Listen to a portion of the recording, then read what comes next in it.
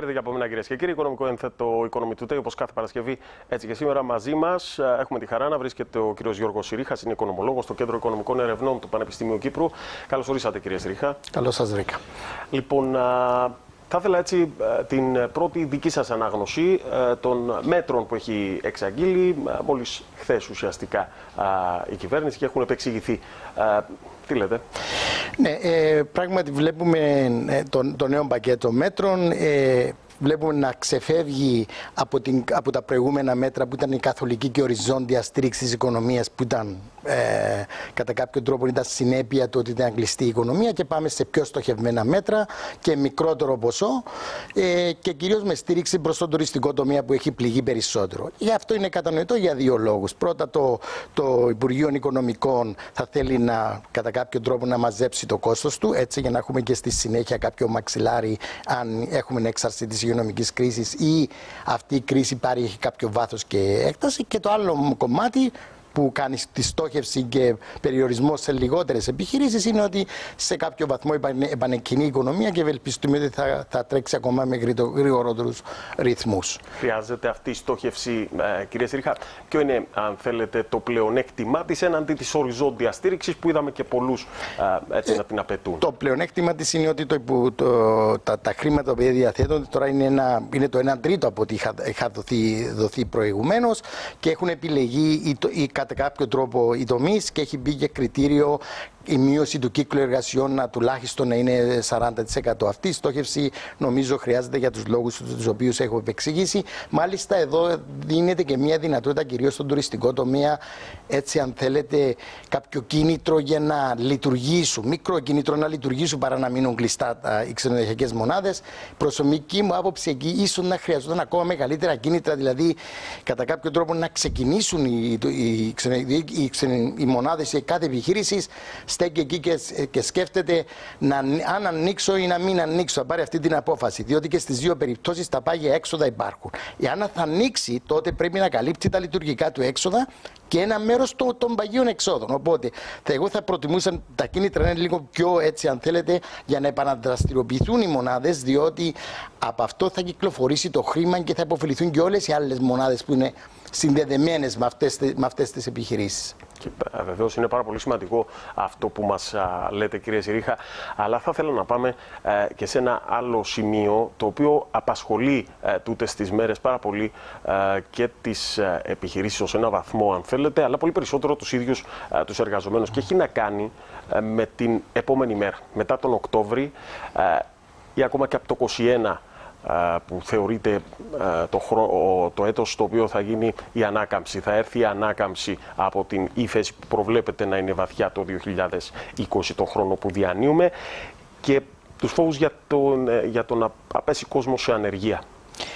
Ε, αυτό είναι, είναι πολύ κρίσιμα ερωτήματα και έχουν, έχουν δύο διαστάσεις κατά την άποψη τη δική μου.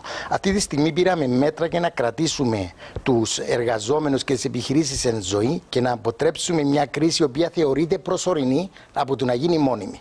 Και αυτό είναι η στόχευση να έχουν τα μέτρα. Δηλαδή, οι υποθέσεις εργασίας όλων των διεθνών αναλυτών είναι ότι οι οικονομίες θα ξεφύγουμε από αυτό το, τον ιό και θα ανακάψουν και θα προχωρήσουμε. Και αυτό είναι το καλό σενάριο.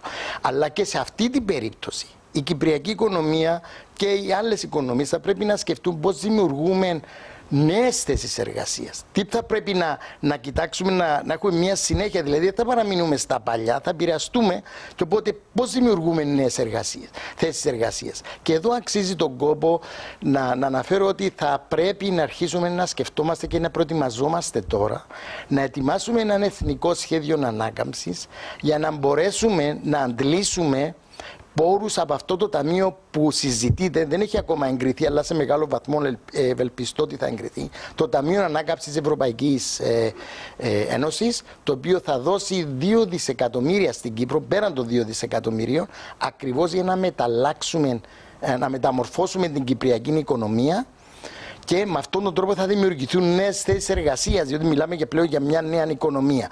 Και θα πρέπει να είμαστε σε θέση να αντλήσουμε αυτά τα κεφάλαια. Και για να είμαστε σε θέση, σημαίνει να ετοιμάσουμε ήδη το σχέδιο μας, το οποίο να είναι συμβατό με τις επιδιώξεις της Ευρωπαϊκής Ένωσης. Και ποιες είναι οι επιδιώξεις της, Να δημιουργίας μιας πράσινης ψηφιακής οικονομίας, η οποία να είναι ανθεκτική στις κρίσεις. Και εδώ είναι το, το σημαντικό στοιχείο. Οπότε πρέπει να ετοιμάσουμε αυτό, αυτό, αυτό το πλάνο και ήδη να το μέχρι τον Οκτώβριο να το έχουμε έτοιμο για να το καταθέσουμε και ευελπιστούμε ότι θα εγκριθεί η πρόταση για να μπορέσουμε να αντλήσουμε κεφάλαια. Υπάρχει το προζήμιο όμως, υπάρχει μαγιά για να γίνει ε, πράξη αυτός ο σχεδιασμός ενώ από άποψης υποδομών αλλά και ε, κατάρτισης του ανθρώπινου δυναμικού για να κάνουμε αυτά τα βήματα. Βεβαίως είμαστε ε, εδώ στην Κύπρο, είμαστε αρκετοί γνώστες. Εξάλλου, ορισμένα πράγματα εμάς έτσι κι αλλιώς και να μην ήταν αυτά. Εμείς εκεί έπρεπε να επιδιώξουμε. Να φέρω ένα παράδειγμα. Οι ανανεώσιμες πηγές ενέργειας. Εδώ στην Κύπρο μας στοιχίζει πέραν του μισού εκατομμυρίου, είναι μισό με ένα δισεκατομμύριο λόγω πώς το υπολογίζεις, το κόστος πετρελαίου στην Κύπρο. Τεράστιο κονδύλι. Που ενώ έχουμε τον ήλιο, το οποίο μας είναι εδώ πέρα, με το να μετακινηθούμε στην ελληνική, ίσως και ολική ενέργεια, και άλλοι είδους ανανεώσιμες πηγές, θα γλιτώσουμε αυτό το κόστος, θα αποσβέσουμε τις επενδύσεις και θα δώσουμε θέσεις εργασίας. Ήδη η Ελλάδα αρχίζει να δουλεύει προς αυτήν την κατεύθυνση και ε, ζήτησε από επιχειρήσεις στην Ελλάδα να είναι έτοιμοι να προμηθεύσουν αυτούς τους φορτιστές των νέων αυτοκινήτων το οποίο προωθεί στην Ελλάδα, τα ηλεκτρονικά, ηλεκτρικά αυτοκίνητα. Οπότε βλέπετε δημιουργούνται νέες ευκαιρίες, νέες προοπτικές, αλλά πρέπει να είμαστε έτοιμοι να μπορέσουμε να τις αξιοποιήσουμε. Μάλιστα. Κύριε Στηρίχα, μας απομένει έτσι ε, ένα λεπτό κουβέντας. Δυστυχώς ο χρόνος κυλάει γρήγορα.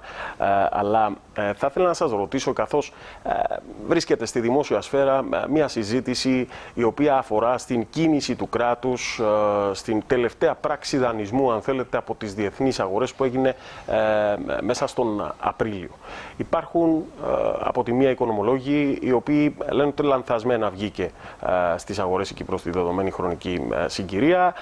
Από την άλλη, το Γραφείο Διαχείρισης Δημοσίου Χρέους, το Υπουργείο Οικονομικών, έρχεται και απαντά με ένα πολυσέλιδο του έγγραφο και εξηγεί τους λόγους για τους οποίους ήταν χρήσιμη εκείνη η έξοδος στην τη δεδομένη χρονική στιγμή. Εσείς τι λέτε; Αντιλαμβάνομαι η κριτική εστιάστηκε στο, στο κόστος δανεισμού. Ε, το κόστος δανεισμού όμως είναι μόνο μία παράμετρος ε, και αυτό το λέω από προσωπική εμπειρία. Δηλαδή συμμετείχαμε μαζί με το Υπουργείο Οικονομικό με την προηγούμενη μου ιδιότητα ε, σε διάφορες ε, να αντλήσουμε από εξωτερικές πηγές και το κόστος δανεισμού ήταν πάντα μία παράμετρος. Αλλά έστω να εστιαστώ στο κόστος δανεισμού που εδώ που είναι η κριτική, το, τον καιρό που δανείστηκε το κράτος ε, ε, είχε μπροστά του έπρεπε να υλοποιήσει κάποια έργα και μάλιστα επίγοντα και έπρεπε να αντλήσει αυτά τα ποσά, για να, διότι η οικονομία πήγαινε προς lockdown και έπρεπε να χρηματοδοτήσει όλα αυτά τα έργα. Οπότε υπήρχε αυτή η ανάγκη. Το δεύτερο, το κόστος αυτό καθε αυτό, μα το ότι ανέβαιναν οι αποδόσεις στους στήλους στο δημοσίο. Που ε, οι αγορές δηλαδή έδειχναν ότι